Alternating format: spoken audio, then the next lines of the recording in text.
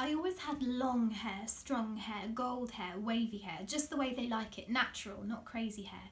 Keep it long, sex it up, tousle curled, sprayed but soft. If you cut it, you'll regret it, just like Brexit, they'll all exit. And you think you'll look fantastic and you'll feel more charismatic, but you'll not be so attractive. And if you crop it, you'll look masculine, less feminine.